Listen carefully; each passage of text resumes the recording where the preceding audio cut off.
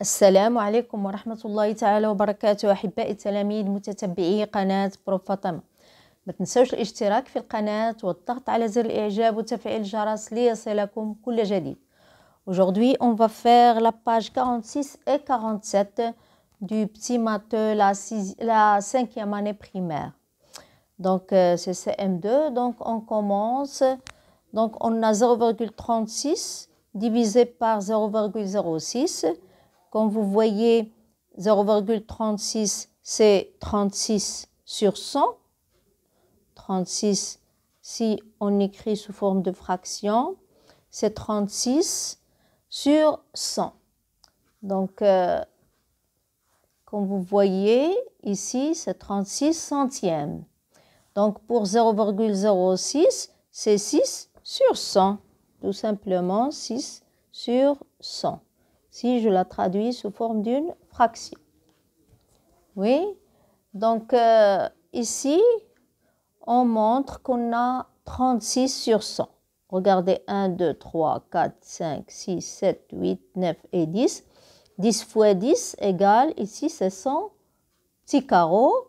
Donc ce qui est coloré, donc le numérateur, c'est la partie qui est coloriée.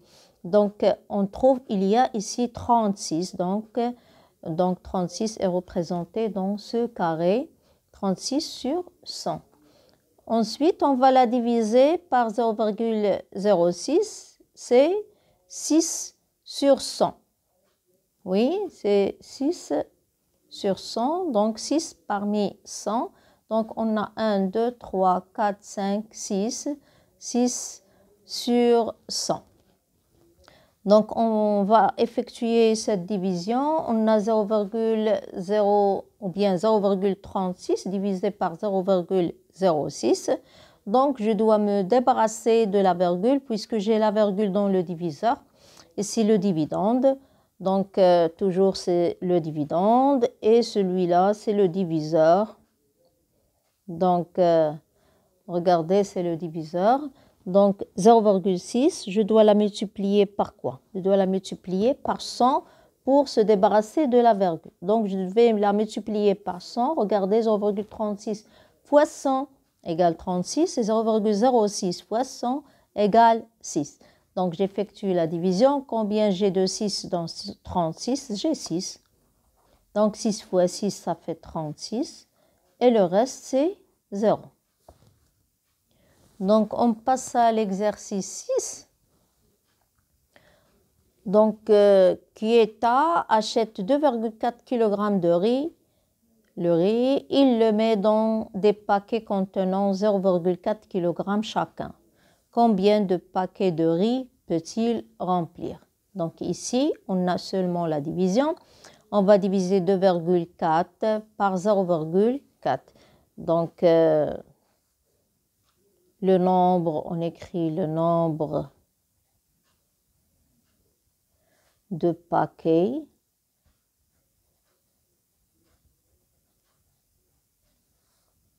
Que Keita peut remplir.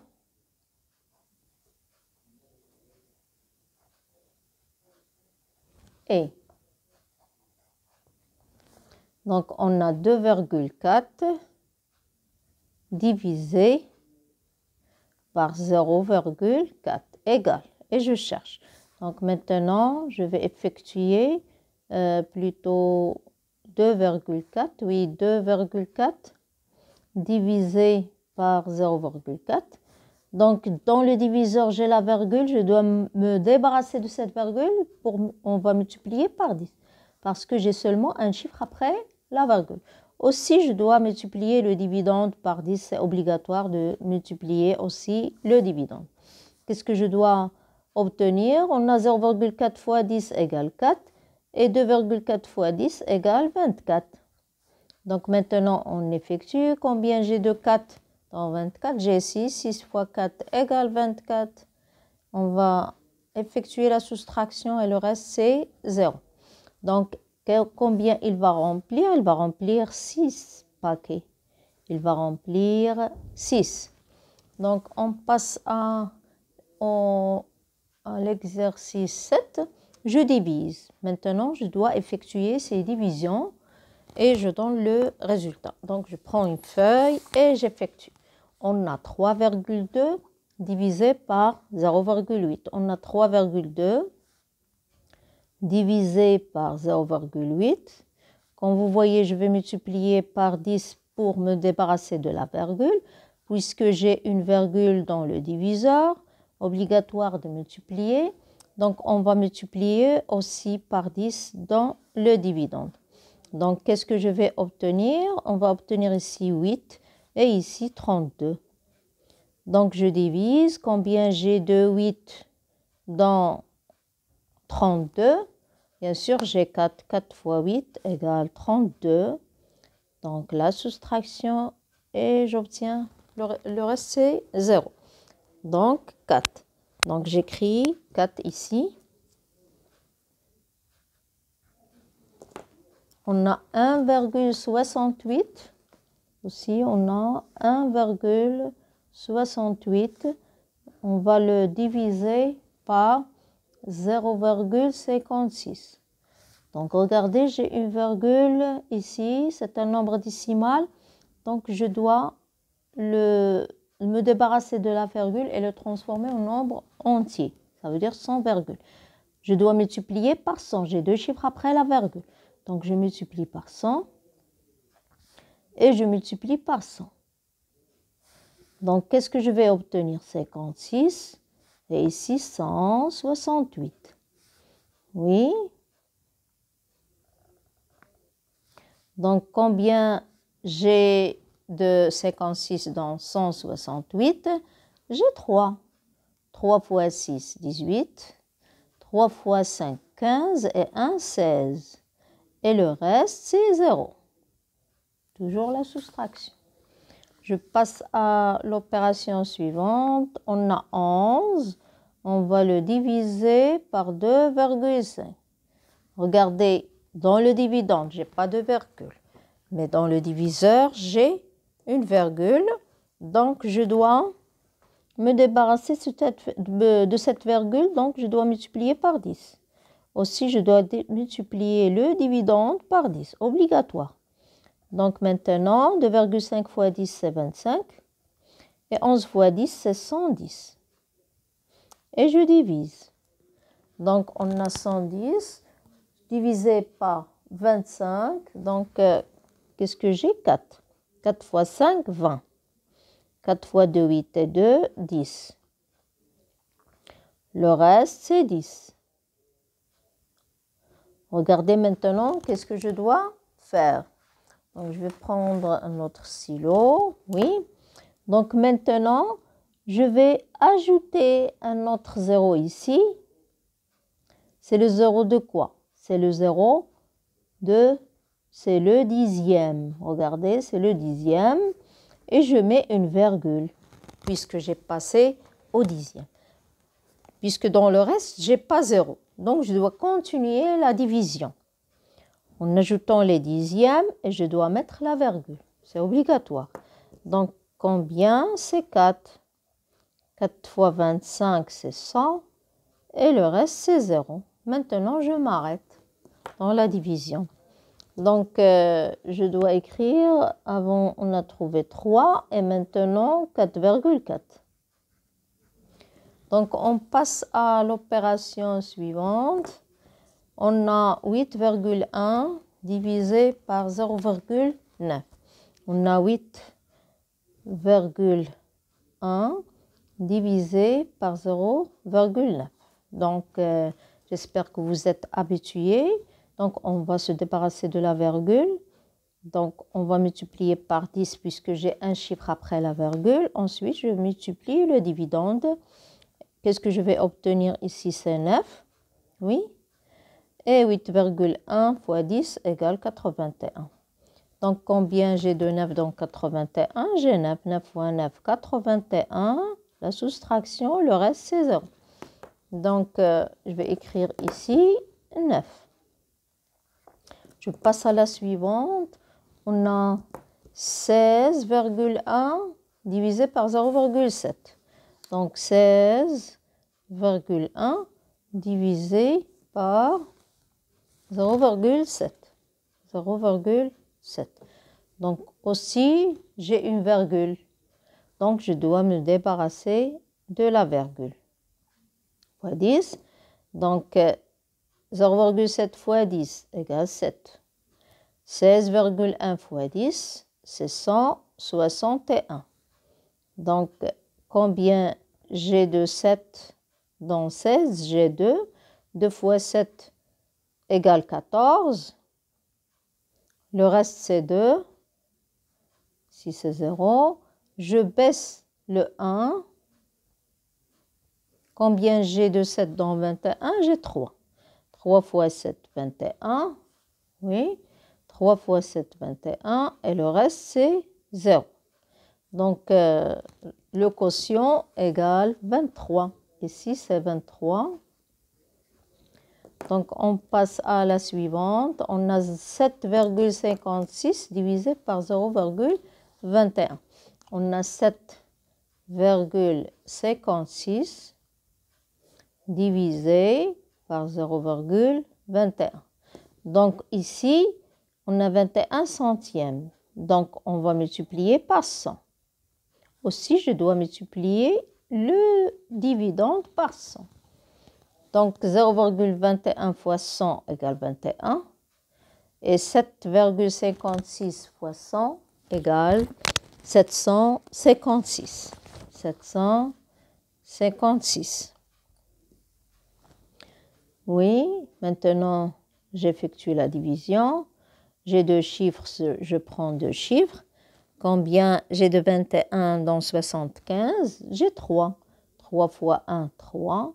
3 fois 2, 6. 5 moins 3 égale 2. 7 moins 6 égale 1.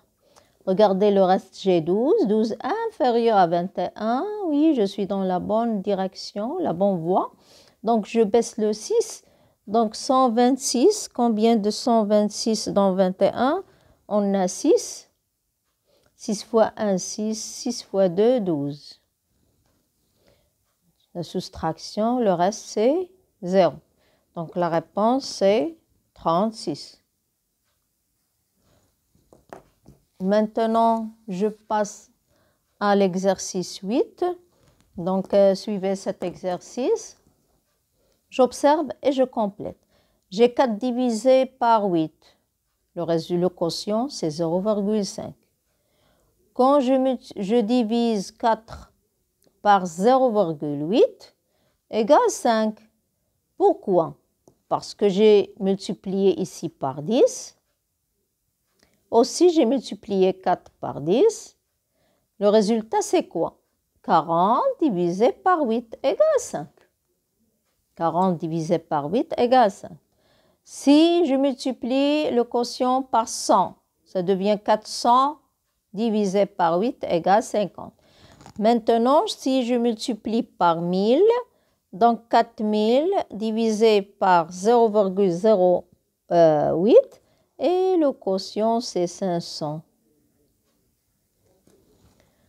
Donc ici je peux trouver le résultat sans poser l'opération. Donc maintenant suivez euh, la suite. On a 4 divisé par 8 égale 0,5. 0,4 divisé par 8 égale 0,05 et 0,04 divisé par 8 égale 0,005. Et 0,00 ici, euh, ils ont oublié 4, donc ajoutez 4 ici. Divisé par 8 égale 0,0005. Tout simplement. On passe à l'exercice 9. Pour diviser 0,3 par 1,7, je multiplie le dividende et le diviseur par 10. Pourquoi? Parce que j'ai ici 1,7. Donc, on a 1,7 fois 10 égale 17. Et 0,3 fois 10 égale 3. Donc, on a ici 3 divisé par 17. J'utilise la calculette ou la calculatrice, la calculette pour effectuer 3 divisé par 17. Qu'est-ce que j'ai trouvé? Le nombre affiché sur la calculette est 0,17647015888, etc. Donc, je vais chercher le quotient approché. Oui, le quotient approché par défaut et le quotient approché par excès. Donc, le 0,1, regardez 0,1, 0,1 et le quotient approché au 1 dixième. Chez ici, le 1 dixième. Par défaut, si par excès, qu'est-ce que je vais obtenir? 0,2. Donc, comment je cherche? Si je n'avais plus ces chiffres, si, si comme si j'avais seulement 0,1. C'est comme si j'avais 0,1. Et je vais encadrer ce nombre au au quoi? Au dixième près. Donc, je me fixe seulement sur les dixièmes et j'obtiens 0,1, c'est par défaut. Par excès, c'est 0,2. Donc, après 0,1, on a 0,2. Donc, euh, ici, on complète. Oui. Ici, la suite. Donc, le même nombre que vous avez. Donc, 0,17 est le quotient approché au 1 centième. Regardez, je reviens vers l'exercice. Ici, j'ai quoi? 0,17. C'est comme si j'avais seulement 0,17. Donc ici, les dixièmes, ici les centièmes, et ici les millièmes, 0,176.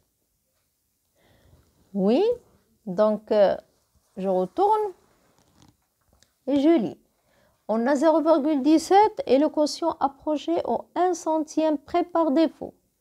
0,18 et le quotient approché au 1 centième près par excès. Par excès, je rajoute ici 0,17 que j'avais dans le quotient. Ici, par excès, je rajoute un 0,18. Maintenant, au, au millième près, on a 0,176 et le quotient approché au 1 millième près par défaut et 0,177 et le quotient approché euh, au 1 millième par excès. Regardez, je me fixe seulement sur les millièmes. Ici, je me fixe sur les centièmes. Je ne touche pas au dixième. Au début, je touche au dixième. Quand je, je cherche le quotient approché au 1 dixième au début qu'on a vu. Donc euh, maintenant, on passe à l'exercice 10. J'utilise le modèle et je complète. Regardez 1,60 divisé par 0,8. Regardez le modèle. On a 1,60. Donc 1, 1, 2, 3, 4, 5, 6, 7, 8, 9, 10. Donc c'est 1. 1, 60. 60, 1, 2, 3, 4, 5, 6. 6, c'est 6 dixièmes. 10 ستة ملونين c'est 6 dixièmes. Ici, 1, on l'a colorié complètement, c'est 10. Donc, euh, donc ici, on va la diviser par quoi Par 0,8. Donc, on a 1, 2, 3, 4, 5, 6, 7, 8. Et 1, 2, 3, 4, 5, 6, 7, 8. Donc, le résultat, c'est quoi? Combien j'ai de 8 J'ai, oui, on a j'ai ici 8 et ici 8. Donc, on va effectuer cette division et vous allez voir que le résultat, c'est 2. Regardez, 1, 2, j'ai le premier 8 et le deuxième 8, donc j'ai 2. Donc regardez, je vais l'effectuer ici. On a 1,60 divisé par 0,8. Donc je vais multiplier par 10 et je vais multiplier par 10. Donc qu'est-ce que je vais obtenir? Pourquoi j'ai multiplié par 10 Parce que le diviseur fait un chiffre seulement après la virgule. Donc le résultat, c'est 8. Et ici, quand je multiplie par 10, j'obtiens 16, tout simplement. 16,0, c'est 16. Donc 16 divisé par 8 égale 2. 2 fois 8, 16. et le reste, c'est 0. C'est pour ça qu'on a trouvé 2 8. Ici, 8 et 8. Donc, c'est deux fois. Il se répète deux fois. Donc, c'est ça le modèle et c'est ça la division. Donc, euh, l'autre division est aussi le modèle. Donc, ici, j'ai 0,32 divisé par 0,8. Donc, 0,32, si je compte 10, 20, 30 et 2. 32, c'est 32 centièmes. 32 sur 100. Regardez, on a colorié 32 parmi 100. Donc, divisé par 0,8, qu'est-ce que j'ai obtenu? On a 10, 10, 10 et 10. 1, 2, 3, 4, 5, 6, 7, 8, 8 plutôt, puisque j'ai 8. On a 1, 2, 3, 4, 5, 6, 7, 8. Donc, on a 8, 8, 8, 8.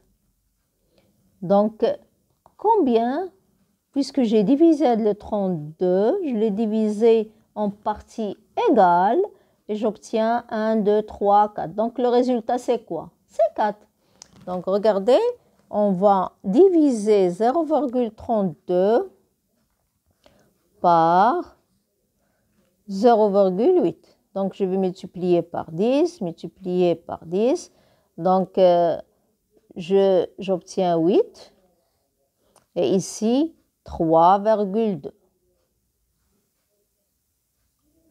Euh, oui, par 10 et 3,2. Donc, oui. Donc, qu'est-ce que je vais obtenir?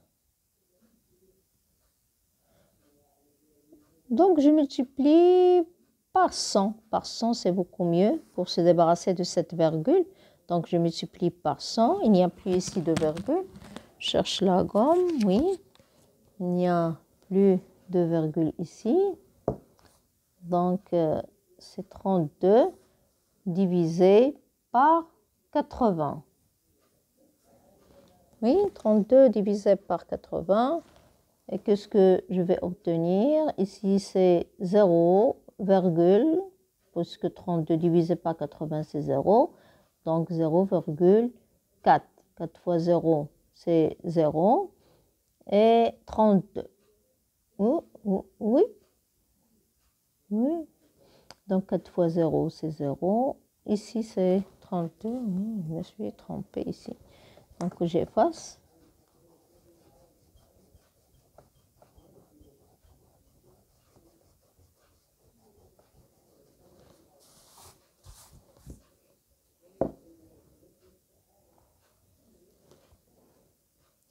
Oui, je vais refaire 0,32 divisé par 0,8.